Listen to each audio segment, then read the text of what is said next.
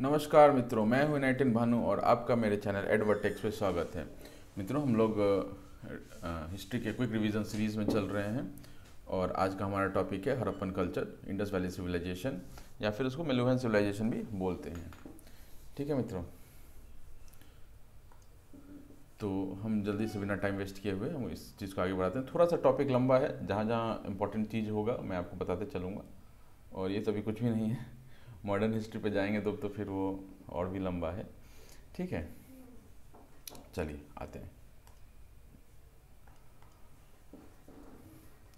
Harappan culture ठीक है? ये क्या चैलकुलिथिक कल्चर से ओल्डर है, लेकिन फार मोर डेवलप्ड क्यों ऐसा बोलते हैं कि चल चैलकुलिथिक एज का हम लोग एज क्या बताते हैं? तीन हज़ार से नौ सौ बीसी के आसपास का एज हम बताते हैं चैलकुलिथिक में। है ना?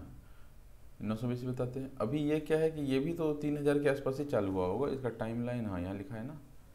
ऊपर ऊपर टाइम लाइन मैंने लिख के रखा हुआ है, ये आपका देख सकते हैं। तीन हज़ार बीसी से पंद्रह सौ बीसी तक का समय मान के चलते हैं इसका। इससे आगे भी होगा, इससे पीछे भी होगा मतलब पंद्रह सौ में ख़त्म नहीं होगा, तीन हज़ार से पर शुरू नहीं होगा, पहले से ही रहा होगा बट मोटा मोटी ये मान के हम चलते हैं। ठीक है ना? तो तीन हज़ार से नौ सौ ये चैलकोलिथिक फ़ेज़ मान के चलते हैं।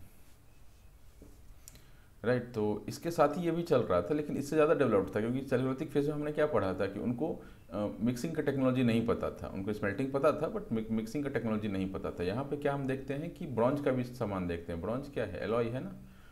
ठीक है कॉपर और टिन का एलॉय है ब्रॉन्ज राइट तो यहाँ भी इस, इसका भी सामान हमको आगे मिलता है। इसलिए इसको बोलते हैं फार मोर डेवलप्ड था। इनका सिटीज़ जो था ये काफ़ी डेवलप्ड था। वो पढ़ेंगे आगे कैसे डेवलप था क्या था? ठीक है।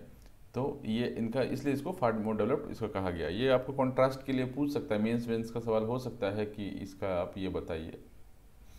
ये अपना, ये एंसेंट हिस्ट्री है नहीं बट पूछ तो वो कुछ भी सकते हैं। आज के डेट से लगा, कुछ पूछ देगा, कोई दिक्कत नहीं, है ना? तो कहाँ कहाँ ये डिस्कवर होता है? ये आपका मॉडर्न डे पंजाब जहाँ पे है, पंजाब पाकिस्तान का इंडिया का भी है। इंडिया का आप देखेंगे, अगर इंडिया में स्टेट्स देखेंगे तो अपने को अभी मोस्टली राजस्थान में है कुछ गुजरात में है कुछ, और हरियाणा में है। ठीक है, अब यूपी में भी मिलने लग गया। इंडिया में पाकिस्तान में कहाँ कहाँ पे है? पाकिस्तान में पंजाब वाला एरिया है।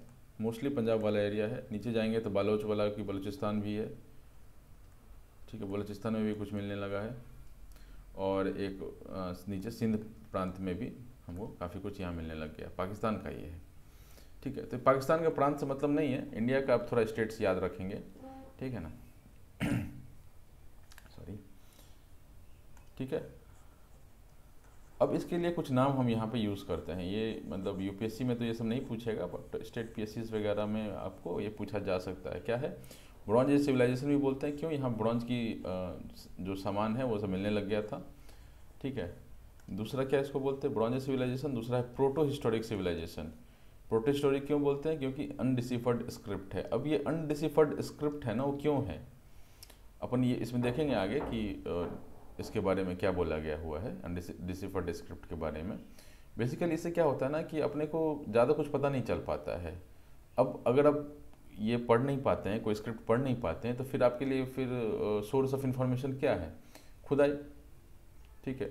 आप खुदाई करते जाइए, आपको मिलता जाएगा, उससे आप कुछ कुछ तरीका आप एक पैटर्न डिराइव कर सकते हैं। जैसे उसके साथ में कौन कौन से थे? इसके इसके साथ मतलब इंडस वैली के साथ अपना एक मिसोपोटामिया सिविलाइजेशन यहाँ पे था, ठीक है? इजिप्शियन यहाँ पे था और चाइनीज़ यहाँ पे था, है ना? तो मिसोपोटामियन को सुमेरियन भी बोलते हैं। ये टाइग्रस यूफ्रेट्स नदी पे था, ये नाइल नदी पे था और ये हुआंगहो नदी पे था राइट तो ये जो भी सिविलाइजेशन है ना, जितनी भी आज के डेट में भी मोस्टली आप देखेंगे कि जितना भी मेजर सिटी है ना, वो आपका रिवर के इस पे बैंक पे ही है। आप दिल्ली ले लीजिए आगरा ले लीजिए कानपुर ले लीजिए प्रयाग ले लीजिए लखनऊ ले लीजिए। ठीक है लखनऊ गोमती पे है। राइट अयोध्या ले लीजिए सजू पर है पटना ले लीजिए गंगा पर है। तो जितने भी मेजर सिटीज़ हैं ना, ये आपकी यहीं पर बसे मिलेंगे। जब पानी का ये डिस्कवरी चालू हो गया ठीक है, कि मतलब पानी की डिस्कवरी कहने का मतलब है कि आपका जो वो वेल और ये सिस्टम सब चालू हो गया। उसके बाद जो है सिटीज़ अलग अलग जगह पे इस्टेब्लिश होने लग गई। लेकिन इनिशियली जितने भी पुराने ये थे सभ्यताएँ थी, सारा जो मेजर वो था, वो आपका इसके ही साइड में था रिवर के ही साइड में था। है ना? तो अपने पास अगर अनडिसिफर्ड ये होता है ना तो हम क्या करते हैं कि जो इनके जो कंटेम्प्रेरी वाले होते हैं, ये जो कंटेम्प्रेरी सिविलाइजेशंस हैं, है ना? कंटेम्प्रेरी सिविलाइजेशंस हैं उनके पास जो हमको उस समय का कुछ ये मिल, साक्ष्य मिलता है, उनके पास रिटर्न स्क्रिप्ट मिलता है तो उसको जब हम डिकोड कर लेते हैं तो हम समझ पाते हैं कि इस समय ऐसा यहाँ हो रहा था तो कुछ ऐसा वहाँ भी हो रहा होगा राइट मैंने बहुत ज़्यादा ये पॉसिबिलिटी नहीं है इस चीज़ की, लेकिन एक पैटर्न आप ड्राइव कर सकते हैं तो वही इसमें भी डिराइव किया गया हुआ है, ठीक है? तो अभी हमारे पास इसका ये नहीं है तो हम दो दो तीन चीज़ हम जान नहीं पाते हैं, एक पॉलिटिकल लाइफ क्या था इनका, ठीक है? अभी आएगा, आगे तब पता चलेगा कि ज़्यादा कुछ हमको पता नहीं है पॉलिटिकल लाइफ में मतलब हेड कौन था, नहीं था फिर दूसरा क्या था, सोशल लाइफ तो मोटा मोटी पता लग जाता है, बीट्स वगैरह, एंकलेट्स वगैरह, ये सब देख करके। ठीक है, रिलीजियस लाइफ हमको पता नहीं था। पता नहीं चल पा रहा है कि भगवान था, नहीं था। एक पशुपति मानते हैं, मर्डर गॉडेस मानते हैं, फैलस वर्शिप मानते हैं। बट, एक कॉन्क्रीट हमारे पास कुछ इन्फॉर्मेशन नहीं है। राइट, इसका डिके का भी कोई हमको पता नहीं चल चल पाता है कि ये सिविलाइजेशन कैसे ख़त्म हुआ। ठीक है ना? तो ये सब प्रॉब्लम आता है जब अपने पास कुछ रिटर्न स्क्रिप्ट नहीं मिलता है उस टाइम का, या मिलता तो है बट उसको हम डिसिफर नहीं कर पाते हैं। ठीक है डिसिफर करने मतलब उसको पढ़ पाना। और डिसिफर करने के लिए क्या होता है ना, कभी भी आप डिसिफर करते हैं ना किसी चीज़ को तो आपको कोई एक ये कोई भाषा है, फारसी है, हमको नहीं पता क्या समझ है। यहाँ पर अगर इंग्लिश लिखा हुआ है आई एम अ मैन तो अब इससे क्या है ना, आप सिमिलैरिटी निकाल निकाल के, ठीक है, आप इस लैंग्वेज को डिसिफर कर लेते हैं। ठीक है तो उसके लिए आपको एक सेकंड लैंग्वेज या थर्ड लैंग्वेज के साथ उसका लिखा हुआ होना चाहिए, तभी हम उसको डिसिफर कर पाएँगे। ठीक है मित्रों, अब ये करंट सिविलाइजेशन हमने इसके साथ में देख लिया। ठीक है, आ जाइए। अब साइट्स पे आते हैं। सबसे इंपॉर्टेंट इसमें ना मोटा मोटी साइट्स ही है। ठीक है, किस साइट पे क्या मिला, इस टाइप की चीज़ें इसमें काफ़ी इंपॉर्टेंट हो जाती हैं। ठीक है ना तो उस पर हम लोग फोकस करते चलेंगे। पहले तो आप साइट समझिए कहाँ कहाँ पर है। ठीक है, Punjab, Haryana, Sindh, Balochistan, Gujarat, Rajasthan fringes of western UP ठीक है, राखी गढ़ी वगैरह जो है वो आ गए हैं। ठीक है। तो ये इनका, ये एक मेजर ये है। बाकी अगर आप इसका माइनर देखेंगे तो वो आगे आते चलेंगे। अभी नीचे भी कुछ है एक एग्जांपल और एक मैप भी है जो मैं आपको दिखाता हूँ। पहले तो इसका ये ना, ये कहाँ से कहाँ तक फैला हुआ था? अभी देखिए, मांडा, जम्मू कश्मीर से लेकर के, ठीक है साउथ में दाइना, दाइमाबाद, महाराष्ट्र तक था। ठीक है एंड वेस्ट में आलमगीरपुर उत्तर प्रदेश से लेकर के सुख्ता जंदौर पाकिस्तान ईरान बॉर्डर पे था। ठीक है? ये इनका एक फैलाव था। इसमें पूरा ये इंडस वैली सिविलाइजेशन फैला हुआ था। इसमें आपका इंडस नदी बहता था। ठीक है ना? और भी कोई नदियाँ थी? साबरमती नदी यहाँ पे ये था और इनकी ट्रिब्यूटरीज वगैरह थी। इधर से गंगा यमुना निकल रहा है ना? तो इधर इधर तक भी ये फैला हुआ था। ठीक है? अभी तो ये हो गया ना कि इतना लोग आके अपना घर बना लिया ना कि खुदाई कैसे करे? खुदाई करने के लिए तो दिक्कत ही है। बनारस क्या है कि Banaras is one of the ancient city in the world ठीक है, अब उसका खुदाई करने आप बैठेंगे तब क्या, जो बैठ, घर बना के बैठे उनका घर तोड़ के थोड़ी निकालेंगे आप खुदाई करके। तो वो प्रॉब्लम एक आ जाता है। ठीक है, खुदाई में भी। अब साइट्स पे आ जाते हैं। ठीक है साइट्स में अपने इंडिया में कौन कौन से हैं और पाकिस्तान में कौन से हैं? पाकिस्तान एज अ होल उनके प्रांत याद रखने की ज़रूरत नहीं है। इंडिया में आपको स्टेट्स याद रखने हैं। ठीक है सबसे इंपॉर्टेंट जो आपका स्टेट के साथ साइट्स का पता होना चाहिए। एक कोट डी करके है जगह है, सिंध में। ठीक है, काली बैंगन है, राजस्थान। अगर नाम ऐसे बंगन ऐसा है ना, काली बगान आप याद रख लीजिए ना। रूपर पंजाब में है, बनावली हरियाणा में है, लोथल सुरकोटाडा, धुलावीरा, ये सब गुजरात में है मोहिंजदारो पाकिस्तान में है। ठीक है लार्जेस्ट ऑफ़ इंडिया सिटीज़ था। ये पाकिस्तान में। अब इसको थोड़ा हम ना आप ये मैप देखिए। मैप से कुछ आप एक पिक्चर क्रिएट करके रख सकते हैं। मैं थोड़ा बड़ा कर देता हूँ इसको, ताकि अपने को दिखे सही से। फिर छोटा करके इसको आगे बढ़ाएँगे चैप्टर को। ये देखिए बड़ा सा। ठीक? आपको ये दिख रहा है? अब यहाँ देखिए। ये इंडिया बॉर्डर है ना? रेड लाइन जो है, इंडिया बॉर्डर है। ठीक है तो मांडा यहाँ देखिए, जम्मू कश्मीर में मिलता है अपने को। है ना? मांडा। ठीक है, रोपर, हरियाणा, बनावली। हरियाणा, कालीबंगन यहाँ पे मिलता है। राखी गढ़ी आपका यूपी साइड चला जाता है इधर। यूपी हरियाणा बॉर्डर पे ही होगा कहीं पर। मीता ताल ये एक है। ठीक है मोस्टली आपको इस इस एरिया में मिलेगा। ये सब, ये क्या है? ये अपना प्लेन एरिया ये थार वाले एरिया में डेजर्ट वाले एरिया में आपको कुछ ज़्यादा नहीं मिलेगा। है ना? यहाँ पे अभी हमने लास्ट लेक्चर में ये पढ़ा था ना, अहरार, बसनास कल्चर कैथा कल्चर जो पूरा कल्चर थी, ये सब साथ में चल रहे थे उसके भी। यहाँ भी लोग थे, ऐसा नहीं है, लोग इधर भी थे, इधर भी सारे लोग, काफ़ी लोग थे। लेकिन इनके बारे में ज़्यादा साक्ष्य नहीं मिल पाता है अपने को तो हम एक हिस्ट्री का जो ये है ना मतलब पैटर्न जो उस एरिया में क्या था, नहीं था, वो ज़्यादा हम इस्टेब्लिश नहीं कर पाए हैं अभी तक। ठीक है, अब यहाँ पे देखिए। गनेरी वाला मोहनजदारो यहाँ पर है, इंडस नदी के तट पे मोहनजदारो यहाँ पे है। कोट डी जी यहाँ पे है। इस साइड मोहनजदारो इधर कोट डी जी है। चानू दारू, ये इंपॉर्टेंट नाम है, ये आपके आएँगे। ठीक है, मांडा ये लिमिट था, इसलिए इम्पोर्टेंट है। बनावली ये ये सब इंडिया में है। काली बंगन इस राखी गढ़ी का बात ज़्यादा इसमें ज़िक्र नहीं है। अभी तो राखी गढ़ी काफ़ी खोज लिया गया है, लेकिन टेक्स्ट में नहीं लाया गया है। ठीक है बट आपको अलग से पता होना चाहिए उसके बारे में, क्योंकि यूपीएससी को टेक्स्ट से मतलब नहीं है, या कोई भी पीसीएस को टेक्स्ट से मतलब नहीं है। है ना? काली बंगन इंपॉर्टेंट है। इंडस वैली की नज़र से काली बंगन इंपॉर्टेंट है मोहनजारो इंपॉर्टेंट है, चानूदारो इंपॉर्टेंट है। ठीक है, गाजी शाह, नौशारो। ये बालाकोट वो ऊपर वाला नहीं है जहाँ पर सर्जिकल स्ट्राइक हुआ था। धोलावीरा इंपॉर्टेंट है, सुरकोटाडा इंपॉर्टेंट है, लोथल इंपॉर्टेंट है। लोथल ये देखिए अपना यहाँ पर है, एकदम बैंक पे ही मोटा मोटी है। ठीक है ना? और एक नदी के बारे में यहाँ ज़िक्र किया गया है, जो पहले घग्गर नदी बहती थी यहाँ पे तो अभी वो विलुप्त हो चुकी है। ठीक है ना?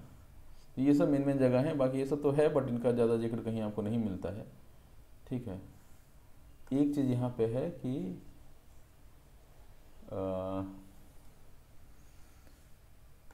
यहाँ पे क्या है? ये दो जगह। है ना? ये दो जगह को आप फोकस कीजिए। सुक्टा जंडोर, ये आपका ईरान पाकिस्तान बॉर्डर पे बोला गया अब ये देखिए ना, ये पाकिस्तान आ रहा है, ये है ना, ये पाकिस्तान आ रहा है। है ना, ये पाकिस्तान चल रहा है तो ये सुक्टा जंडोर पाकिस्तान ईरान बॉर्डर पे ही है। अभी आजकल यहाँ पे, मैंने ये आज का ही नाम है, ये पुराना नाम तो अपने को क्या ही पता है, उस समय क्या उसको बोलते थे। अपने को ये भी नहीं पता था कि इसको हरप्पन इंडस वैली या कुछ और भी बोलते थे इसको। हमको ये अपना इराक में जो था ना, सुमेरियन सिविलाइजेशन, उससे पता चला कि इसका नाम मेलोहा था। ठीक है तो नाम भी अपने को नहीं पता था इस चीज़ का। तो सुक्टा जेंडोर जो है, ये यहाँ पर है। सुक्टा जेंडोर अभी यहाँ पे आपको मैंने पिछले लेक्चर से बताया था ना, यहाँ पे एक है पोर्ट जहाँ से India international north south corridor बना रही है ट्रांजिट कॉरिडोर बना रही है, और दूसरा यहाँ पे जहाँ से चाइना बना रही है। ठीक है ना? बंदर अब्बास। और यहाँ पे कौन सा था? ये आप सर्च कीजिए। ठीक है? चलिए आते हैं इसको छोटा करें वापस। आजा भाई छोटा हो जा। ठीक है अब इसमें क्या है ना कि किसी भी चीज़ में ना फेजेस होती हैं। ठीक है आपके जीवन में भी फ़ेज़ रहा होगा राइट तो उसकी तरह इसमें भी फ़ेज़ था एक अर्ली फ़ेज़ या प्री हरपन फ़ेज़ बोलते हैं। प्री हरपन फिर अर्ली फिर मच्योर और उसके बाद लेट हरपन लेट में डिक्लाइन चालू हो गया थी वो जो आपको एक, एक ग्राफ बताया था ऐसे करके ऐसे। ये प्री हरपन हो गया या अर्ली हरप्पन हो गया, ये मच्योर हरप्पन हो गया और फिर ये डिक्लाइन करता लेट हरप्पन में डिक्लाइन करता चला गया। सबका जीवन ऐसा ही है, सबका साम्राज्य ऐसा ही है। Nothing is permanent in this world right ठीक है। अभी आपने अपन आते हैं किस पे? प्री हरपन पे। नोमैटिक पीपल थे जो सेटल लाइफ बिगिन करने लगे। खेती वेती चालू की होगी थोड़ी बहुत। ठीक है, उसके बाद अर्ली हरपन पीरियड था, जहाँ पर लार्ज विलेजेस इन प्लेन्स आने लग गए और टाउन्स का ग्रोथ होने लगी। अभी आप देखे होंगे ना, आप इसको रिलेट कर सकते हैं, इस चीज़ को, अर्ली हरप्पन टाइप का चीज़ को आप रिलेट कर सकते हैं। अमरी और कोट डी में ये देखा गया है। ठीक है, ये इस चीज़ को आप रिलेट कैसे कर सकते हैं कि आप अपने गाँव को देखे होंगे। कभी भी जिनका गाँव है, उनका तो समझ में लीजिए, और जिनका गाँव नहीं है तो वो अपने आसपास के लोकल एरिया भी देखे होंगे। तो पहले वहाँ पर क्या था कि पहले झोंपड़ियाँ होती थी एक वो खपड़ा होता था, खपड़ा मतलब बेग्ड एक हाफ़ सर्कुलर शेप का इतना बड़ा होता था, उससे घर बनाते थे। वो फूस होता था ना, जो एग्रीकल्चरल वेस्ट होता था, उसको डाल करके उस पर फिर वो डाल के आप बनाते थे घर। ठीक है, दुकान उकान, एक आध दो दुकान होता था, एक मिल होता था गाँव में जो सबको खाना खिलाता था मतलब ये पीस करके आप खाते थे। तो हर मिल में देखेंगे ना, मैंने हर गाँव में आप देखेंगे ना तो एक जाति व्यवस्था थी। अब इसमें हम नहीं जाएँगे कि जाति व्यवस्था सही, गलत, उस चीज़ में हम नहीं जा रहे हैं। जाति व्यवस्था कहने क्या मतलब है ना? जाति की, जाति, हर जाति एक एक समाज होता था। एक एक गाँव होता था। उसमें हर जातियाँ होती थी। ठीक है? एक सम, एक ये एक आपस में समाज हो जाता था। अब इस समाज में क्या था कि किसी का काम बाल काटने का है किसी का काम आ, ये चीज़ बेचने का बनिया जो बोलते हैं ठीक है? और कि बाल काटने का जो नाई होता था ठीक किसी काम साफ़ सफ़ाई का है किसी काम पूजा पाठ का है किसी का काम ये है क्या? तो ये ऐसा समाज होता था जो हर तरह का काम करता था उसमें। ठीक है ना? अब तो क्या हो गया कि अब डिपेंडेंसी बढ़ गया। अब ये इन चीज़ों का मतलब नहीं है, क्योंकि अब एज अ होल आप समाज देखते हैं। सबको ही मतलब उसमें क्या था कि किसी को बाहर जाने का काम था नहीं। मैंने अंग्रेज़, या अंग्रेज़ के आने से पहले, अंग्रेज़ के आने से पहले की बात है मोस्टली कि एक समाज, गाँव एक समाज होता था आपस में। ठीक है, इसलिए बोलते हैं गाँव में दो शादियाँ नहीं होती थी। क्यों नहीं होती थी पूरा वो समाज होता था, सब भाई बहन होते थे उसमें। ठीक है तो इसलिए गाँव में दो, बोलते हैं दो शादियाँ। ऑल की शादी इज़ अ पॉसिबिलिटी मतलब शादी के लिए एक दो चीज़ें देखते हैं रिलेशन वगैरह देखते हैं और गोत्र देखते हैं या वो सब चीज़ देखते हैं तो वो पॉसिबिलिटी था लेकिन एक गाँव में नहीं करते थे उस टाइम पे। ठीक है? तो ये एक गाँव का खास बात था। अब वो गाँव क्या हो गया है ना कि अब आप देखेंगे कि अब तो सब पढ़ने लिखने लगे वो चीज़ें वो चीज़ें ख़त्म हो गई हैं। एक जो सभ्यता का वो था, वो उसका भी इंक्रीज और डिक्लाइन हो गया। अब क्या आप गाँव में देखेंगे कि हर जगह पर दुकान बन रहे हैं शोरूम्स खुल रहे हैं, सबके घर पक्का का हो गया है, प्रधानमंत्री आवास योजना के तहत। डेढ़ लाख रुपया प्लस दस लाख रुपया दस हज़ार रुपया बाथरूम के लिए मिलता है। तो अब क्या है उस चीज़ को वो डेवलप हो, होता जा रहा है वो जगह। तो वहाँ से हमको क्या पता चलता है कि अर्ली हड़प्पन में कैसे हुआ होगा? गाँव कैसे एक टाउन में बना होगा? छोटे छोटे गाँव आपका टाउन में बन रहा होगा। आप ये चीज़ देख पा रहे होंगे। या अगर आप किसी मेट्रो सिटीज़ में हैं तो शायद आपको इतना नहीं दिखेगा क्योंकि वो मोटा मोटी कॉन्स्टेंट है अभी पिछले पचास तीस चालीस साल से। बट स्टिल आप थोड़ा सा भी आउटर में जाएँगे, जहाँ पे पहले आप जंगल देखते थे या जहाँ पे छोटे छोटे घर देखते थे, वहाँ पे बड़े बड़े घर दिखेंगे आपको, फिर आपको दुकान दिखेंगे। तो वो अर्ली से जो ये जो बोल रहा है ना कि विलेज में रह करके फिर वो ग्रेजुअल ग्रोथ ऑफ़ टाउन होने लग गया। तो क्या होता है कि विलेज से टाउन बनता है और टाउन से फिर सिटी बनता है? ठीक है ना? तो ये यहाँ पे अर्ली हड़प्पन फ़ेज़ में हो रहा था। इसका हमको साक्ष्य कहाँ मिलता है? अमरी में और कोटी में। ठीक है, इसके बाद आ जाइए मच्योर फ़ेज़ में। मच्योर फ़ेज़ में great cities emerged. Great cities में कौन कौन से थे? Expectation at Kalibangan and is elaborate town planning ठीक है तो ग्रेट सिटीज़ में, उसके अलावा और क्या मचोर हरप्पन में मोहिंजोदारो आ जाता है? ठीक है, दूसरा और कौन किसका नाम आ जाता है? लोथल लोथल तो नहीं, लोथल में मतलब वहाँ भी साइड वहाँ कुछ और साक्ष्य भी मिलते हैं तो लोथल को हम नहीं ले जाते, हड़प्पा को ले जाते हैं। हड़प्पा भी जगह का ही नाम है, क्योंकि पहला सिटी हड़प्पा ही था तो हमने हड़प्पा सिविलाइजेशन इसको बोल दिया था राइट तो लेट हड़प्पन फ़ेज़ का अपने को लोथल को में ये मिलता है। मैंने इसमें आपको डिक्लाइन के साक्ष्य मिलते हैं, लेकिन पीक टाइम में इनका भी बहुत बढ़िया कंट्रीब्यूशन रहा होगा। ठीक है? ठीक। चलिए आगे बढ़ते हैं। अब आ जाइए टाउन प्लानिंग पर धीरे धीरे इनका जो करेक्टरिस्टिक है ना इंदस वैली सिविलाइजेशन का मेलिफेंट सिविलाइजेशन का जो करेक्टरिस्टिक है, वो हम इसमें देखते चलेंगे।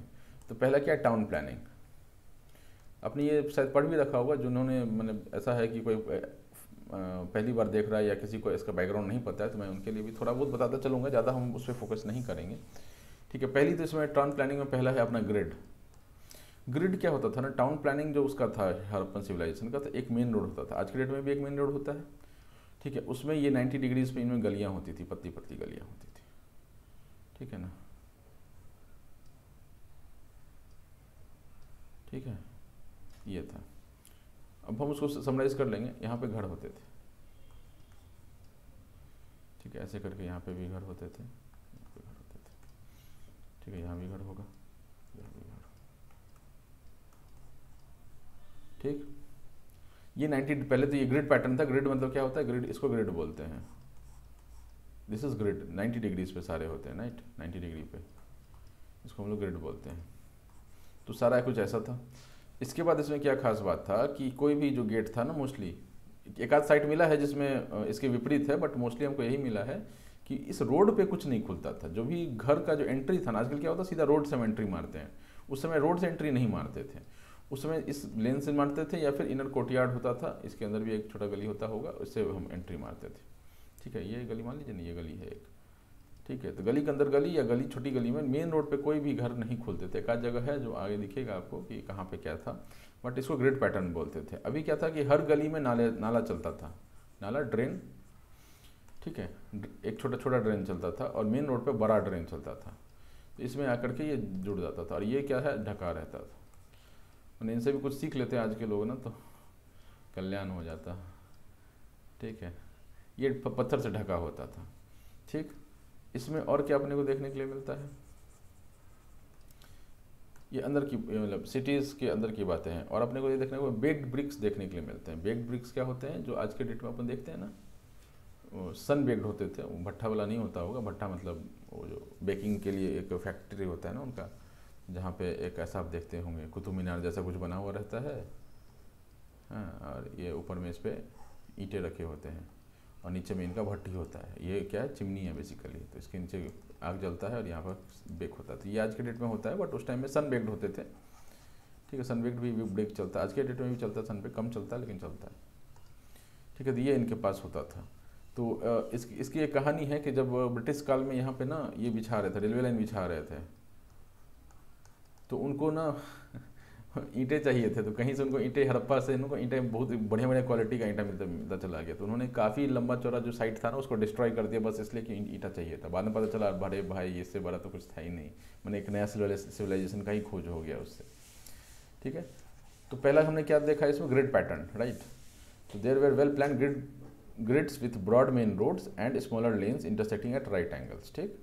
House open only to the inner courtyard आँगन में खुलता था या फिर स्मॉलर लेंस में खुलता था। ठीक इधर पतली गली में खुलता था या फिर छोटी गली में खुलता था। और मेन रोड पर कोई जल्दी हाउस नहीं खुलता था। बट स्टिल कुछ हैं ऐसे साइट्स जहाँ पे हाउस खुला है। बट मोटा मोटी जो एक जनरल मान के चले तो ऐसा ही था।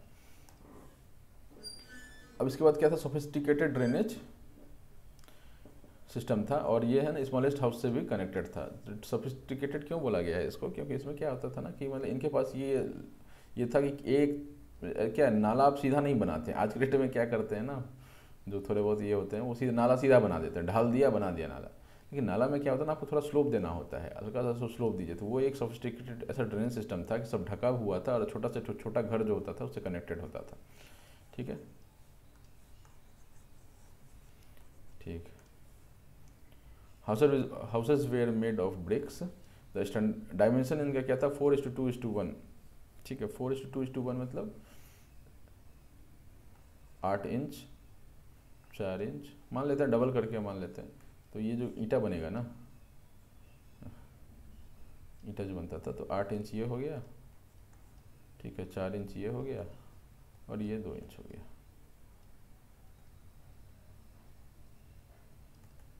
ये तो ये दो इंच हो, ऐसा कुछ हो जाता था, इनका डायमेंशन था। ठीक है, आजकल डायमेंशन जो है वो कुछ दस इंच पाँच इंच और तीन इंच बोलते हैं। तीन इंच बोल, लेकिन इससे भी छोटा ही बनाते हैं। अब क्या और ईटा छोटा होता जा रहा है? थोड़ा पुराना जब ईटा देखेंगे ना, अगर आज आज से तीस, चालीस साल, पचास साल पुराना ईटा देखेंगे आप तो आपको ये साइज़ दिखेगा। अब क्या है कि इससे भी छोटा ही होता जा रहा है राइट लेकिन स्टैंडर्ड डायमेंशन आज के डेट में ये है, दस, पाँच, तीन। ठीक है समवेयर अराउंड कितना हो गया? अब ये, इसको तीन को आप ढाई मान लीजिए टू पॉइंट फाइव मान लीजिए तो ये थोड़ा डिविजिबल हो जाएगा। तो आप देखेंगे कि one is to two is to four वही तो है।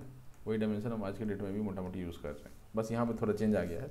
ढाई के बदले तीन हो गया अगर ये ढाई रहता तो फिर यही सेम रेशियो में चलता है ये चीज़।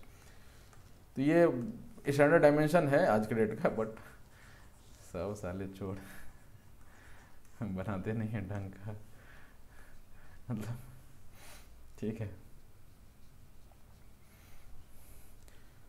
Found in many cities across the civilisation are remarkable the house had several floor several floors मतलब ऐसा नहीं था हाईराइज बिल्डिंग्स नहीं होती थी। एक फ्लोर दो फ्लोर तीन फ्लोर इतना ही तक होता था, इससे ज़्यादा नहीं होता था। The house had toilet sanitation systems इसका क्या है कि स्वच्छ भारत का एग्ज़ाम्पल मैंने यहाँ क्यों लिखा हुआ है? क्योंकि मैंने ये थोड़ा पुराना है ना, उस समय मोदी जी ने स्वच्छ भारत लॉन्च किया था। तो whenever there is a comparison कि आप कंपेयर एंड कॉन्ट्रास्ट कीजिए स्वच्छ भारत के लिए तो आप यहाँ पर एक, ये एग्ज़ाम्पल दे सकते हैं उसमें कि हाउस हैड टॉयलेट्स और सैनिटेशन सिस्टम जो आज के डेट में भी नहीं है। ठीक है? मैंने अंग्रेज़ों ने ऐसा कर दिया ना देश का हालत एक टाइम पे कि आदमी के पास घर नहीं था तो वो शौचालय क्या ही बनवाएगा? लेकिन उस टाइम में मतलब आज से समझिए तीन हज़ार, पाँच हज़ार साल पहले अपने पास टॉयलेट्स होते थे घर में। ठीक है? आज के डेट में तो खुले में करो। बट यस एक ये है कि स्वच्छ भारत अभियान के आने से एक बिहेवियरल चेंज आया है। ऐसा नहीं है कि हंड्रेड परसेंट वो सक्सेस हो गया है बट एक बिहेवियरल चेंज आया है। Right right. जैसे ट्रेन में था, है ना? ट्रेन में पोटी आप कभी गए होंगे उस टाइम में, आज से दस साल पहले ट्रेन में गए होंगे तो वो खुला होता था। आपने पोटी किया आप नीचे गिरता था वो। ठीक है, आज की डेट में वो चीज़ बंद हो चुका है। ठीक है? अब रेलवे लाइन पर ऐसा है ना कि कभी ऐसा पड़ जाए कि भाई रेलवे लाइन में चलना पड़ जाए तो आप वो चल नहीं सकते उस रेलवे लाइन पे, उस टाइम पे। लेकिन आज के डेट में आप बिल्कुल चल सकते हैं क्योंकि अब ये पूरा साफ़ रहता है। कहीं भी ऐसा नहीं होता है। ठीक है, एक ये चेंज ये तो खैर मैकेनिकल चेंज हुआ। मैकेनिकल इसको बिहेवियरल चेंज नहीं बोलेंगे। बिहेवियरल चेंज इसको बोलेंगे जो खुले में करते थे। मेरे गाँव में एक रास्ता था। रोड होता था। अभी भी है मतलब एक रोड है। ठीक है, पहले तो ये सिंगल लेन होता था, छोटा सा होता था। अब डबल लेन हो गया है। ये पहले सिंगल लेन ऐसा होता था। सिंगल लेन इज़ एक गाड़ी के बराबर की जगह। दो गाड़ियाँ आ गई तो थोड़ा साइड मतलब एक, ये भी रोड से आधा उतरेगा, ये भी रोड से आधा उतरेगा, फिर निकाल लेते थे। और कहीं कहीं पर तो ऐसा हाल था कि वो भी नहीं निकलता था। है ना मित्रों? तो ये सिंगल लेन ये था। तो यहाँ पर क्या था कि इस पोटी किया हुआ मिलता था। तो यहाँ पे ये रोड पर बैठते थे सिंगल लेन पे और ये इधर इधर पोटी होता था। तो आप इस रोड पे चल नहीं सकते हैं। ठीक है नागबंद के गाड़ी पर आप निकल जाएँगे। ज़्यादा नहीं था ये, हम, मेरे ख्याल हार्डली सौ मीटर का ही ये था, जहाँ पे सब इधर का मोहल्ला, टोला वाला सब जो होता है ना वहाँ पे पोटी होता था। ठीक है। गलती इनकी नहीं थी, ये मैं नहीं बोलूँगा कि इनकी गलती थी, क्योंकि एक बिहेवियर जो आप अपने जनरेशन में पाते हैं ना, वो कंटिन्यू होता है राइट वो बिहेवियर चेंज करने के लिए वहाँ पे फोकस में आता है नेता। नेता क्या है? आपका पॉलिटिकल रिप्रेजेंटेटिव जो कि विजनरी हो कि इन चीज़ों को बदल सके। ठीक है, आपको इन चीज़ों के बदले कुछ आपको ये दे सके। आपको बोलेगा, भाई रोड पे मत करो। कहाँ करो? घर में तो है नहीं। ठीक है तो इस केस में यहाँ पर जो आया ना, दस हज़ार अलग से दस हज़ार अलग से आया कि भाई आप बाथरूम बनाए, दस हज़ार अलग से पैसे देंगे हम आपको। ये प्रधानमंत्री आवास योजना में। ठीक है, अब शायद कुछ इसमें फ्लक्चुएसन आया हो, लेकिन दस हज़ार के आसपास मेरे को पता है कि मिलता था। अभी दो साल पहले तक दस हज़ार ही था, उसके बाद अब कुछ बदलाव हो तो नहीं पता मुझे। तो वो अलग से दे रहे हैं कि आप घर में बनाइए, घर में छोटा सा ही बनाइए, बट घर में बनाइए और घर में ही उसको ये कीजिए। ठीक है, ये बिहेवियर चेंज के लिए था और काफ़ी लोगों ने सुना। ठीक है और आज के डेट में मेरा वो जो रोड है वो डबल लेन अब जो है वो आप आराम से वॉक कर सकते हैं उस पर ठीक है। आ जाइए सिटी वॉल्स पे आ जाइए। सिटी वॉल्स में क्या है ना कि कभी आप अगर राजस्थान गए होंगे या राजस्थान के जो होंगे उनको पता होगा कि आ, जो किला है ना दो तरह किला का दो लेयर होता था। इनफैक्ट दिल्ली में भी जो होंगे शायद आप लोगों को नहीं पता हो लेकिन किला दो किला का दो लेयर होता था। पहला किला का लेयर कौन सा होता था? ये। आप अगर यहाँ जाएँगे दिल्ली पाँच छः शहरों से मिलकर बना, उसमें एक एक शहर का नाम होता था Shahjahanabad. Shahjahanabad is old Delhi. आज के डेट में जो ओल्ड दिल्ली है, उसको शाहजहानाबाद बोलते थे। तो उसमें क्या किया गया था कि शाहजहाँ ने जब इधर बसाया था पूरा तो उसने पूरा ऐसा घिरवाया था, पूरा को। ठीक है तो ये फोर्ट का, पहला फोर्ट का फ़र्स्ट लेयर ऑफ़ डिफेंस था। इसके अंदर सभी लोग रहते थे, इसके बाहर कोई नहीं रहता था। सब लोग इसके इसके इधर क्या था? इधर से नदी बह रही है। ठीक है ना? यहाँ पे अब लाल किला बना हुआ था। लाल किला का भी सेकेंड लाइन ऑफ़ डिफेंस था।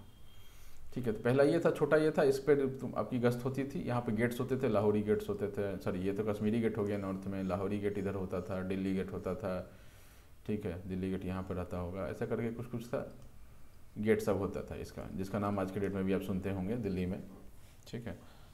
जितने भी गेट का नाम, इंडिया गेट नहीं, इंडिया गेट अलग है, बाकी जितना भी गेट सुनते हैं आप नाम, लाहौरी गेट अजमेरी गेट तो अजमेर जाने के लिए, अजमेरी गेट हो गया, कश्मीर जाने के लिए कश्मीरी गेट हो गया। तो ऐसा करके गेट सब था और इधर जाने के लिए इधर कोई गेट होगा। तो ये होता था। तो इनके भी क्या है कि each city of the Indus valley was surrounded by a massive walls and gateways to control trade यही बस इसी का, यही फंडा था। ये आपको राजस्थान में भी देखने के लिए मिलता है। आप जयपुर जाएँगे, जयपुर में अगर आप आमेर का किला जाएँगे तो उसमें आपको दिखेगा कि किला एक टीले पे है, ऊपर में है। ठीक है, और घिरावा है वो दूर दूर पे आपको दिखेगा। अभी टूटने लग गया है वो, और इसमें इस शाहजहानाबाद वाले में तो बहुत कम जग बचा हुआ है, कहीं कहीं में बचा हुआ है। ठीक है? शाहजहाबाद में कहीं कहीं पर दीवार बचा हुआ मोस्टली ये तोड़ टूट चुका है वो। ठीक है ना? तो ये कंट्रोल ट्रेड करने के लिए ऐसा होता था सिस्टम ठीक है? और फ्लडिंग से भी रोकने के लिए होता था तो गेट्स कुछ ऊँचा बनाते होंगे। Each part of the city was world section अभी each part of the city इसमें क्या है कि एक यही वर्ल्ड सेक्शन होता था जहाँ पे महाराज धीराज रहते थे। जो ये मुग़ल वाले थे, वो रहते थे। बाकी इधर कोई फोर्टिफिकेशन में, इधर कोई ये नहीं था। लेकिन इसमें हर पार्ट का आपका एक अलग से वॉल होता था सेक्शन होता था। कौन कौन सेक्शंस होते थे? ठीक है, उसमें पहला आता है पब्लिक बिल्डिंग्स जो आपका राजशाही हो गया, जहाँ से एडमिनिस्ट्रेशन कंट्रोल होता था। हाउसेस का अलग हो गया मार्केट्स अलग हो गया क्राफ्ट वर्क सब का अलग हो गया। ठीक है, जगह के हिसाब से सेक्शंस बने हुए थे, सबको घेरा हुआ दिया हुआ था एक। सिटाडल एंड लोअर सिटीज़ अब सिटाडल एंड लोअर सिटीज़ का क्या मतलब है कि ये जो मैंने आपको एक पिक्चर बताया है, इसमें इस, ये उस टाइम के हिसाब से रख लीजिए। तो ये क्या होता था? एक सिटाडल होता था। ये ऊँचे जगह पे होता था और ये लोअर सिटीज़ ये सब लोअर सिटीज़ होती थी इसमें। है ना?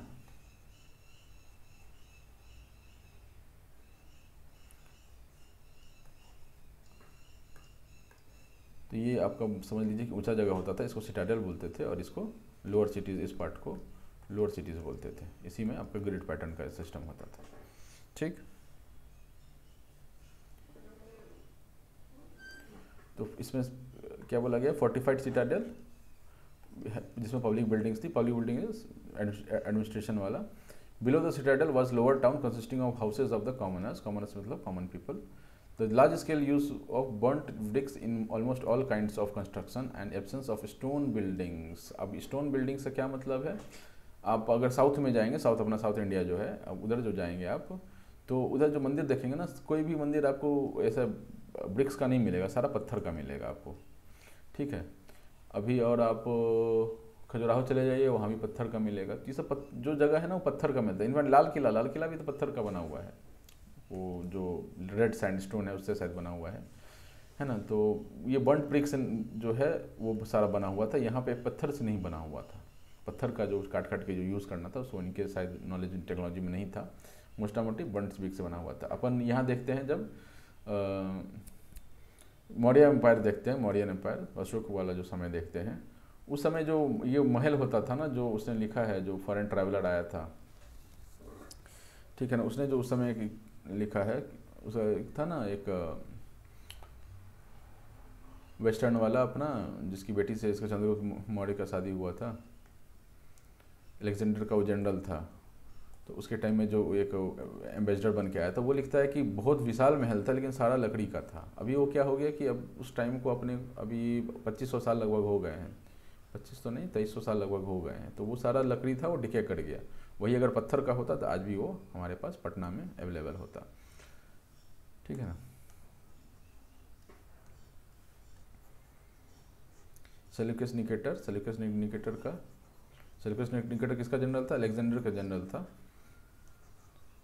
ठीक है Alexander lottery the time Pakistan के वेस्ट वाला जो एरिया था, पाकिस्तान एंड उसके वेस्ट वाला जो एरिया था, उसका, उसको ये बना के गया था, क्या बोलते हैं उसको लोकल गवर्नर बना के गया था, उसकी बेटी से चंद्रगुप्त मौर्य का शादी था।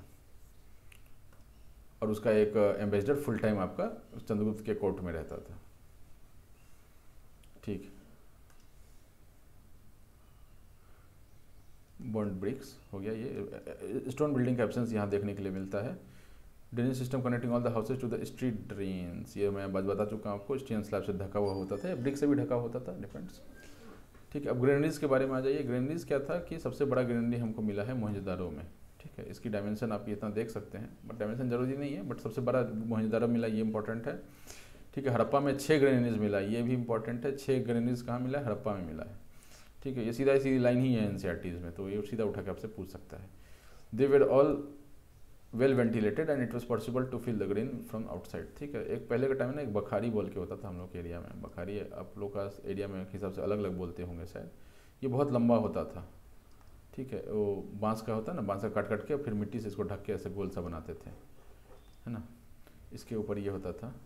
इधर छोटा सा खिड़की जैसा, मैंने गेट जैसा होता था। छोटा ही गेट होता था, ज़्यादा ज़्यादा बड़ा नहीं होता था। और इधर से सीढ़ी लगा के क्या करते थे लोग? ऊपर से इसमें भरते थे। ठीक है, धान हो गया या फिर गेहूँ हो गया, जो भी है, इसमें ऊपर से भरते थे और साइड से निकालते थे। दिस वॉज़ स्टोरेज सिस्टम जो पहले टाइम में चलता था, जब खेती ज़्यादा होता था, किसी भी एक आदमी के अंदर खेत ज़्यादा होता था, उस टाइम ऐसा सिस्टम चलता था। अब तो क्या है कि कौन उतना काम करे? पिसाओ, खाओ मतलब मंगवाओ कि खरीद लो आशीर्वाद का आटा खा लो, है ना? तो दे विल वेंटिलेटेड और फिल ग्रेन ऊपर से हम लोग भर सकते थे आउटसाइड से भर सकते थे। ठीक, अब इसमें एक इंपॉर्टेंट लाइन है large size of the granary probably indicates highly developed agricultural civilisation ये इंपॉर्टेंट लाइन हो जाता है, सीधा आपके स्टेटमेंट में आ सकता है ये के ठीक है? नेक्स्ट पार्ट पे आते हैं ग्रेट बात ग्रेट बात अपने कहाँ मिला है? ग्रेट बात हमको मिला है मोहनजोदारो में। ठीक है most important public place of Mohenjodaro कौन सा था? ग्रेट बात था। इसका डायमेंशन क्या था? Thirty nine feet into twenty three feet into eight feet आठ फीट गहरा, ठीक है, इतना लंबा और चौड़ाई भी कुछ था।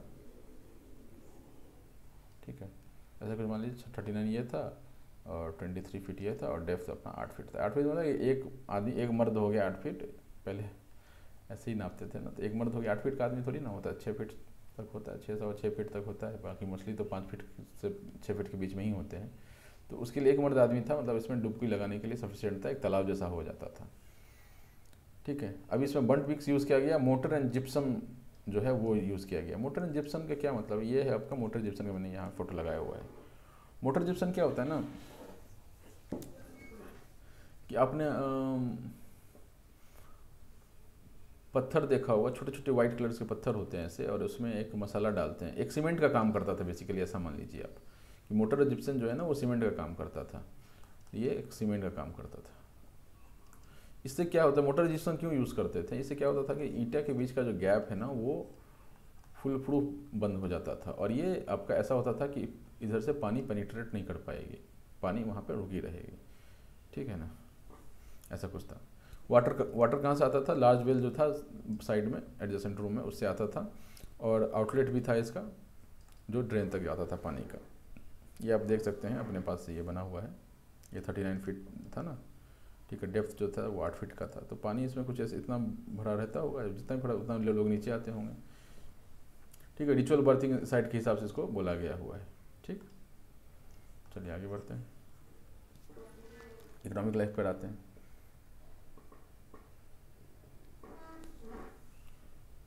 ठीक है great progress in all space of economic activity ठीक है, पहले तो agriculture and allied sectors allied activities क्या होता है? एलाइड एक्टिविटीज़ मतलब एग्रीकल्चर मतलब तो आपको समझ में आई कि एग्रीकल्चर कुछ भी आप खेती बाड़ी से रिलेटेड करते हैं दैट इज़ एग्रीकल्चर पेड़ लगाना उससे फल पाना भी एग्रीकल्चर में ही आता है। एलाइड एक्टिविटीज़ मतलब मुर्गा पालन हो गया आज के डेट में। मुर्गा पालन हो गया आप ये बकरी का पालन करते हैं माल मवेशी का पालन करते हैं तो ये सब एलाइड एक्टिविटीज़ हैं। ठीक है ना? क्योंकि एग्रीकल्चर तो सीजनल है ना। आपने एक बार गेहूँ लगा दिया तब उसको पक, पकने में टाइम लगेगा। है ना?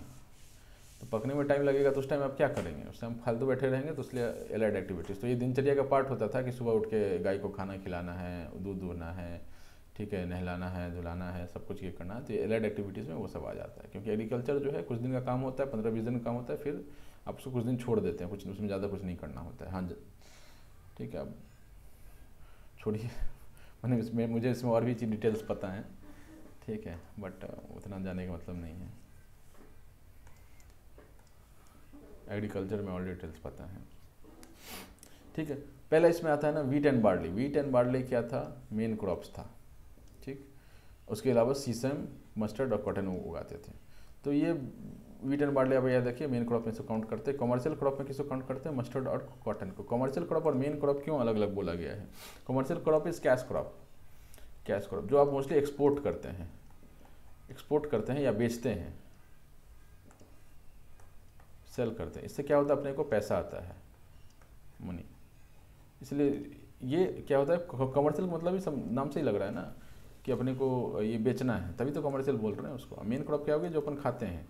स्टेपल फ़ूड जो बोलते हैं ना rice is a staple food ठीक है? तो स्टेपल फ़ूड मतलब क्या होता है? जो अपन कंज्यूम करते हैं और कमर्शियल मतलब क्या होता है? जो बेचने का काम करते हैं। तो मस्टर्ड और कॉटन क्या है? कमर्शियल वाले में आते हैं। ये देखिए मस्टर्ड और ये कॉटन आपके कमर्शियल वाले में।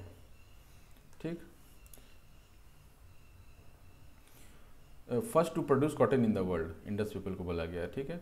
वेल इरीगेशन अपने को पता है, वहाँ पे क्या है ना कि जो सिटी होती थी ना नदी तो ठीक है, नदी के आसपास बसा हुआ था, उससे अपना एग्रीकल्चर वगैरह तो चलता ही होगा। बट द थिंग इज़ कि घर में कुआँ का कंसेप्ट उस समय आ चुका था। ठीक है, कुआँ? थोड़ा ये ऐसे दिख गया। ठीक है ना, कुआँ कॉन्सेप्ट आ चुका था। तो कुआँ से ये क्या करते थे? वेल से ऐसा लकड़ी लगा के कुछ इसमें बाल्टी होगा और ये नीचे जाकर ऊपर भर के लाता होगा। तो वेल इरीगेशन तो वहाँ पे काफ़ी कॉमन हो गया था। घर में भी कुआँ आने लग गया था। ठीक है? इसमें यहाँ पे प्लॉग नहीं किया गया था। मतलब प्लॉगिंग मतलब क्या होता है? जोतना खेत जो, जो खेत का जो जुताई होता है वो जुताई नहीं होता था उस टाइम पे। ठीक है ना? उसमें लाइट टूटेड इंस्ट्रूमेंट्स जो क्या करते थे? डगअप कर देते थे। अभी क्या है कि अब हमारे पास ट्रैक्टर्स हैं या पहले इससे पहले जब ट्रैक्टर्स नहीं था तो बैल के सहारे हम लोग उसको खेत को पूरा ये हल से खेती करते थे। लेकिन उस समय ये चीज़ टेक्नोलॉजी या इस तरह का चीज़ नहीं पता होगा। हो सकता लेटर टाइम में डेवलप हुआ हो, इस तरह की मतलब बातचीत। तो उस समय क्या करते थे खुद खुद के लोग उसमें पेड़ लगा देते थे। ऐसा कुछ यहाँ बोला गया है। ट्रेसेस ऑफ़ डैम मिलता है हमको धोलावीरा गुजरात में। अब ये इंपॉर्टेंट हो जाता है कि धोलावीरा में हमको क्या मिला है, गुजरात में ट्रेसेस ऑफ़ डैम मिलता है। ठीक है, जब भी शिप की बात आए ना शिप ये डैम तो नहीं शिप की बात आए या कुछ पानी से रिलेटेड बात आए तो मोस्टली हमको इस एरिया में ही देखने के लिए मिलता है। आपको गुजरात वाले एरिया में, गुजरात में कौन कौन से धोलावीरा और एक और मीन था लोथल। ठीक है, धोलावीरा, लोथल, गुजरात के हैं। यहाँ पे मोस्टली शिप से रिलेटेड काम यहीं पे आपको मिले, देखने के लिए मिलेगा। शिप बिल्डिंग हो गया या कुछ हो गया तो इस तरह की चीज़ें यहाँ देखने के लिए मिलेंगी। ठीक है ना? सरप्लस ग्रेन्स था उनके पास, जो कि ग्रेनरीज में स्टोर करते थे। आपको वो भी छः ग्रेनरीज मिला ना वो हड़प्पा में। तो ऑब्वियसली ग्रेनरीज सरप्लस होगा तभी तो रखते होंगे, ऐसे थोड़ी ना कोई ग्रेनरी बनाकर रख लेता है। ठीक है डोमेस्टिकेशन में कौन कौन से जानवर हम लोग यूज़ करते थे? Sheep goats and buffalo use करते थे। और हंटिंग के लिए और भी एनिमल जो भी खाने वाला होता होगा, उसको हंट करते होंगे। ये तो क्या है गोट तो आके बोलेगा, काट ले भाई मेरे को, कोई फ़र्क नहीं पड़ता है। ठीक है शिप का भी वही हाल है। शिप गोट एक ही बिरादरी के हैं। अंतर ये है कि थोड़े ये उल वाले होते हैं और ये बिना फड़ वाले होते हैं। ठीक है मोटा मोटी लैम्ब और जो गोट है मोस्टली एक जैसा ही उनका ये होता है ब्रीड होता है। ठीक है तो हंटेड के लिए डियर को हंट करते थे। अब डियर हंट किसका करेंगे? जो आपसे भागेगा उसका हंट करेंगे। राइट तो डियर भागने में उस्ताद था तो उसका हंट करते होंगे। जो भी भागने में उस्ताद होगा उसका हंट करते होंगे। हॉर्स का यूज़ जो है फॉर्मली इस्टेब्लिश नहीं हुआ है, लेकिन अब हमको हॉर्स दिखने लग गया है। इनफैक्ट कुछ कुछ साइट्स पे मिले हैं। इन जनरल नहीं मिला है हॉर्स लेकिन कुछ कुछ साइट्स पे हॉर्स मिला है। और अभी इस पर और भी एक्सकेवेशन चल ही रहे हैं तो ये कुछ फाइनल ये नहीं है। लेकिन जितना अपने को मिला है, वो अपन पढ़ रहे हैं। ठीक है में आते हैं, क्या आते हाँ? स्पेशलाइज्ड ग्रुप होता है। स्पेशलाइज ग्रुप कौन कौन से थे? गोल्ड स्मिथ थे ब्रिक मेकर्स थे स्टोन कटर्स थे वीवर्स थे बोट बिल्डर्स थे टेराकोटा एंड मैन्युफैक्चरर्स थे, ठीक है? गोल्ड और सिल्वर के ऑर्नामेंट्स हमको कई जगहों पर मिले हैं। पॉटरी डिमेंस जो है, वो प्लेन है, ठीक है? पॉटरी प्लेन है मतलब उस पर कोई ज़्यादा डिज़ाइन वगैरह उस टाइम पर नहीं किया गया था, ठीक है ना? ज़्यादा डिज़ाइन वगैरह नहीं किया गया था, लेकिन फिर भी कहीं कहीं पर रेड एंड ब्लैक पेंटेड हमको मिलता है, ठीक है? बीट जो है वो मैन्युफैक्चर होता था सेमी प्रेसेस स्टोन को। यूज़ करके। सेमी प्रेसेस स्टोन्स आपको पता है ना अंगूठी में जो पहनते हैं ना that is semi precious stones ठीक है bronze was made by smiths mixing with tin with copper ठीक है कॉपर और टिन का मिक्सर था ब्रॉन्ज ठीक है कॉपर कहाँ से लाते थे? Khetri mines Khetri mines important है, राजस्थान में खेतरी माइंस है। यहाँ से वो लोग कॉपर उठाते थे। और टिन कहाँ से लाते थे? अफ़गानिस्तान और हजारीबाग। हजारीबाग अब देखिए अब झारखंड का नाम ले रहा है ये लोग। हजारीबाग कहाँ है? हजारीबाग नेशनल पार्क है आपका, बिहार झारखंड के बॉर्डर पर हजारीबाग पड़ता है, जो कि झारखंड में आता है पॉलिटिकली मतलब जोग्राफिकली झारखंड के बाउंड्री के अंदर आता है। और बस्तर आपका छत्तीसगढ़ था। अब समझ लीजिए कि ये लोग टीन यहाँ से निकाल के ला रहे हैं मंगा रहे हैं हजारीबाग से। अफ़गानिस्तान तो खैर बगल में ही था इसके बट हजारीबाग और बस्तर से ला रहे हैं। बस्तर छत्तीसगढ़ में है और हजारीबाग झारखंड में है। तो अब वहाँ से ला रहे हैं तो आप ये समझिए कि वहाँ के लोगों को इसका माइनिंग पता होगा। ठीक है, दूसरी चीज़, वहाँ से ट्रांसपोर्ट अवेलेबल होगी। है ना? तभी तो आप ला पाएँगे। तो ये कहना कि उधर कोई सभ्यता नहीं था तो ये चीज़ गलत है। बाकी ठीक है, जितना पढ़ा है अपना वही उधर ही ये लिमिट करेंगे अपनी बातों को। ठीक है? स्पिंडल वर्ल्ड्स यूज़ होने लगे, चरखा टाइप का चीज़। वीवर वो वो clothes of wool and cotton, चरखा टाइप का चीज़ यहाँ पे आने लग गया था। ठीक है? बोट मेकिंग का भी एविडेंस हमको मिलता है, लोथल में मिलता है। ठीक है टेक्सटाइल इंडस्ट्री में आ जाइए। टेक्सटाइल इंडस्ट्री में अपने पास ये सब इंडस्ट्रीज़ एग्जिस्ट करती थी उस टाइम पे ठीक? तो टेक्सटाइल इंडस्ट्री कॉटन के लिए यूज़ करते थे ब्रिक इंडस्ट्री था मेटलर्जिकल इंडस्ट्री था जहाँ पर कॉपर और ब्रॉन्ज हम लोग कॉपर पिघलाते होंगे ब्रॉन्ज बनाते होंगे या कुछ उस तरह का कुछ औज़ार वगैरह बनाते रहे होंगे। ठीक है शिप बिल्डिंग इंडस्ट्री लोथल में ही थे खाली। क्यों लोथल में था? क्योंकि ये जो जगह था वो आपका नज़दीक था आ, सी से। ठीक है ट्रेडिंग के लिए सी ही तो आप यूज़ करते हैं। तो सी यूज़ करते तो एक और था, सुख्ता जंदौर था वहाँ पे, लेकिन ठीक है। लोथल में ही है। अभी तक एविडेंस हमको लोथल में ही मिला। अगर होगा तो पता नहीं बट एविडेंस हमको लोथल में ही मिला है। तो हम लोग पानी से रिलेटेड समुद्र से रिलेटेड ज़्यादा बात होगा, वो धोलावीरा और लोथल तक ही हम लोग मोटा मोटी रखेंगे। गुजरात से ही रखेंगे तो कहने का मतलब है। Jewellery industry beads and shell ornaments हमको मिलता है। कहाँ कहाँ पता? चानू दारों में, लोथल में और धोलावीरा में। ठीक है, ज्वेलरी, है ना, ये कैसे याद रखेंगे? गुजराती महिलाएँ बहुत, गुजराती जो महिलाएँ होती हैं ना, वो काफ़ी ऑर्नामेंट्स पहनती हैं राइट तो आप ऐसे याद रख सकते हैं कि भाई अभी पहन रही है तो समय से भी यही हाल है, वो कंटिन्यूएशन उस एरिया में चलता आ रहा है। तो लोथल और धोलावेरा दोनों गुजरात में दोनों जगह पे ही आपको बीट्स एंड सेल ऑर्नामेंट्स मिलते हैं। चानू दारू हमने बताया था आपको, कहाँ पर था? पाकिस्तान में था। ठीक है वहाँ भी ऐसा मिलता है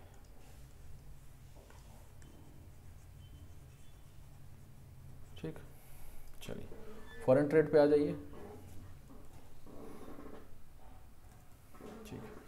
फॉरेन ट्रेड पे आ जाइए। फॉरेन ट्रेड में इसके बाद हम ना ख़त्म कर सकते हैं क्या? ठीक है इससे यहाँ पे लाके हम लोग पॉलिटी से पहले पहले तक ख़त्म करके इसको रैप अप करते हैं, क्योंकि फिर लेक्चर लंबा हो जाता है और आपका भी मन नहीं लगता है पढ़ने में। ठीक है, फॉरेन ट्रेड पे आ जाइए। फॉरेन ट्रेड में क्या क्या है? कि हम कहाँ से करते थे? मिसोपोटामिया से करते थे, अफ़गानिस्तान से करते थे, ईरान से करते थे। तीन जगह से करते थे। ठीक है? सुमेरियन टेक्स्ट जो है, सुमेरियन में टेक्स्ट मिला, हमारे पास तो कोई टेक्स्ट नहीं मिला, लेकिन सुमेरिया में टेक्स्ट मिला दैट इज़ इजिप्ट इजिप्ट नहीं सॉरी इराक वाला जो था, सुमेरियन मेसोपोटामियन सिविलाइजेशन जो तो बोलते हैं। वहाँ हमको मेलुहा नाम लिखा हुआ मिला, इससे हमको ये पता चला कि इसका नाम मेलुहा है, इस जगह का नाम। ठीक है they also speak of Dilmun जो कि बहरीन में है, और माकन मकरान कोस्ट पे है। आप जब देखेंगे ना, कुछ ऐसा अरब का ये बन रहा है है ना, ये सऊदी अरब का ऐसा है। ठीक है, और कुछ ये ऐसा अपना ये चलता है। इंडिया आ गया, है ना? ऐसा कुछ चलता है। तो यहाँ पर एक अभी करंट पाकिस्तान का बॉर्डर है तो ईरान कहाँ पर है? ईरान ये अपना ईरान वाला एरिया है। ठीक है, यहाँ पे सॉरी यहाँ पे अपना मेसोपोटामियन सुमेरियन था। ठीक है, यहाँ पे कौन सा था? इजिप्शियन सिविलाइजेशन था। ठीक है नाइल नदी पे। तो ये क्या बोल रहा है कि मकरान कोस्ट जो है, यहाँ पर कहीं मकरान कोस्ट है, इसको हम लोग यूज़ करते हैं और यहाँ पर बहरेन है, उसको भी हम लोग as a mid point trading point के बीच का जो एक स्टॉप होता है, उसकी तरह यूज़ करते थे। Mini seals of Indus Valley जो है, वो मेसोपोटामिया में हम अपने को मिला है। ठीक है ट्रेड बाटर टाइप का था। बाटर में तो पता है ना आपको? मेरे पास आलू है, आपके पास कपड़े हैं। तो मैं आपको आलू दूँगा, आप मुझे कपड़े दीजिए। इसमें प्रॉब्लम था कि मेरे को भाई आलू नहीं चाहिए तो मेरे पास कपड़े हैं और आपके पास आलू है। मेरे को आलू नहीं चाहिए, लेकिन आपको तो कपड़ा चाहिए। तो वो कैसे होगा? तो ये एक इशू था इसमें। इसके लिए बीच में एक थर्ड पार्टी आया था कॉइन का सिस्टम या पैसा का सिस्टम बट बाटा सिस्टम चलता था। उस हिसाब से ही सिस्टम समाज सेट था कि भाई, मिला जुला के सबका चलना है। एक गाँव में ऐसा चलता था। ठीक? Trade was of button type seals and terracotta models ये जो अपने को मिला है ना सील्स और टेरिकोटा मॉडल्स इंडस वैली में, वो क्या हमको बताता है? ब्लो कार्ड और ऑक्सीजन जो है, वो लैंड लैंड ट्रांसपोर्ट के लिए हम लोग यूज़ करते थे। ठीक है? ब्लो कार्ड पता पता है ना बुल से ब्लो कार्ड बना है और ऑक्सीजन मतलब ऑक्स ऑक्सीजन ये एक ही टाइप के समझ लीजिए, आप बुल ही समझ लीजिए, उसको जो बैल बोलते हैं ना बैल बैल ही समझ लीजिए। तो बैल से हम लोग ट्रांसपोर्ट वगैरह करते थे। बोट्स और शिप भी देखा गया, जिससे हमको पता चलता है कि रिवर और सी ट्रांसपोर्ट भी उस समय चलता था। ठीक? हड़पन्स को व्हील्स का यूज़ पता था। ठीक है, लेकिन ये सम काइंड ऑफ़ इक्का होता था। अब इक्का किसको बोलते हैं? अब ये फ़ोटो में देख रहे हो ये इक्का है।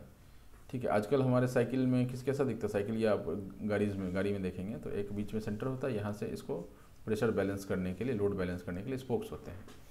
पहले क्या होता था कि स्पोक वाला कॉन्सेप्ट नहीं पता था, स्पोक क्यों आया? क्योंकि वेट को कम करना था। अब यार, चीज़, भारी चीज़ को आप लेके जा रहे हैं, उसमें आप चक्का का इतना वेट कर देंगे तो वो भी एक्स्ट्रा एडिशन हो गया ना तो उस वेट को कम करने के लिए जितना इस पर लोड है, उस चीज़ को बैलेंस करने के लिए ये ऐसा कुछ चक्का बनाया गया। राइट तो ये पूरे फिलअप्ड होते थे। ठीक है, ये तो आपने गाँव में भी देखा होगा मतलब आज से 20 साल पहले 25 साल पहले दिखता था बिहार के गाँव में। ठीक है, ऐसा चक्का दिखता था। स्पोक वाला नहीं होता था उस टाइम पे, और नॉर्मल ऐसा बना के गाँव देहात में छोटे छोटे एरिया में चलता था। कुछ ज़्यादा बड़ा वो होता भी नहीं था, छोटा ही होता था। ऐसा छोटा दिख रहा है ना, वैसे ही कम ही इसका होता था। ठीक है, अब इम्पोर्ट्स पे आ जाइए। मेन इम्पोर्ट्स क्या है अपने पास?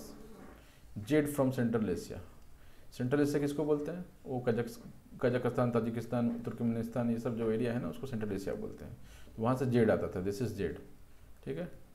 जेड, हरा वाला, जेड जेड है। ये मौलवी लोग ये जेड जेड ज़्यादा देख, पहना हुआ दिखेंगे आपको। आई डोंट नो क्या यूज़ है। अगर कुछ यूज़ हो तो अच्छी बात है बट ऐसा पहला हुआ मौलवी लोग ज़्यादा दिखते हैं। जो आप कोई सूफी सॉन्ग्स देखेंगे ना, उन पर आपको दिखेंगे कि एक तो हरा वाला दिखेगा ही दिखेगा। ठीक है? टर्कोइस जो है, वो पर्सिया से आया हुआ है, पर्सिया बस, ईरान। यहाँ से टर्कोइस आया हुआ है। ठीक है, लापिस लजुली इसको बोला गया है। टीन गोल्ड और सिल्वर जो है, अफ़गानिस्तान से आता था। तो ये चीज़ आप याद रखेंगे। ठीक? मेन एक्सपोर्ट्स में क्या था? अपने पास wheat barley peas oil seed जैसे एक्सपोर्ट्स में था। ठीक है फिनिश प्रोडक्ट्स में क्या क्या था? अब ये सब नहीं पूछेगा आपसे। कि एक्सपोर्ट होता था, ये पूछ ले, पूछ सकता है आपसे कि एक्सपोर्ट होता था इंपोर्ट भी होता था एक्सपोर्ट भी होता था, क्योंकि ट्रेड है तो इंपोर्ट एक्सपोर्ट तो होना ही है। ये आपसे पूछ सकता है, लेकिन अभी आइटम्स मुझे नहीं लगता है कि आपसे पूछेगा बट फिर भी cotton goods pottery heads beads terracotta figures and ivory products ये सब आपको आइवरी आपको पता है ना, हाथी का जो दांत होता है, दिखाने वाला, वो आइवरी उसको बोलते हैं तो उसका प्रोडक्ट प्रोडक्ट सब होता था। स्टैंडर्ड एंड मेजर सिस्टम यहाँ पर यूज़ करते थे। ठीक है, अंगुला अंगुला क्या होता है कि 1.7 सेंटीमीटर अप्रॉक्स होता है। ये अंगुला इसमें ना, ये इसको अंगुला बोलते हैं, ये जो ये, इसको अंगुला बोलते हैं। 1.7 सेंटीमीटर से अप्रॉक्सीमेटली टू सेंटीमीटर के आसपास होता था। ये अर्थशास्त्र अर्थशास्त्र में भी इसका वर्णन मिलता है और इंडिया में कभी डिसेंट तक यूज़ हो रहा था। अब देखेंगे ना, ऐसा कितना कपड़ा कपड़ा मेजर करते हुए देखा होगा आपने किसी को, ऐसे करके ऐसे नाप लिया। तो ये चार अंगुला हो गया ठीक है